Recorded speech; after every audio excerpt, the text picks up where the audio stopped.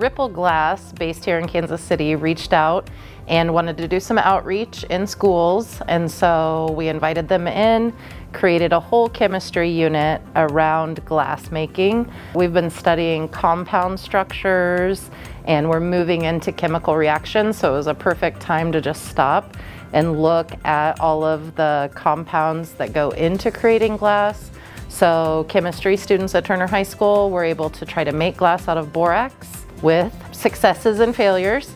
And then we tried to make glass out of sugar, which is often used in like films and stuff as glass. And we studied the circular economy and how recycling glass is uh, super important because glass is one of the few materials that is infinitely recyclable. It's important for students to learn about recycling and circular economies because at some point uh, we don't have infinite resources.